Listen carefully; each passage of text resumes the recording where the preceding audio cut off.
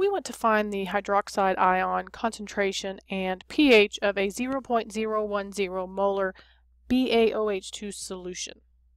So how am I going to go about doing that? Well, the first thing I need to know is I need to know how many OHs am I dealing with.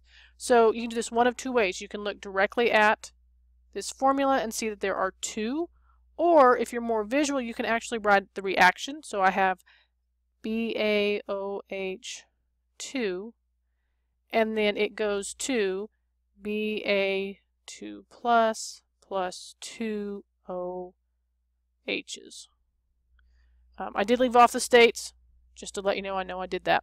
So this tells us that I have two OHs, and that's really important when we start doing everything. So if I'm going to find the concentration and the pH, I'm going to find the POH, which is going to equal to the negative log of the concentration of the hydroxide ion.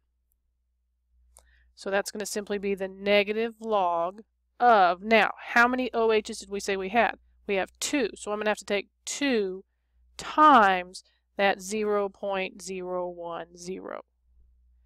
And when I do that, I get a POH of 1.69897.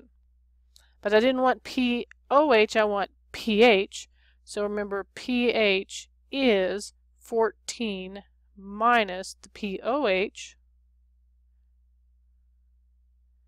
And when I do that calculation and crunch it out, I get approximately 12.30. Remember, you want two significant figures after the decimal point.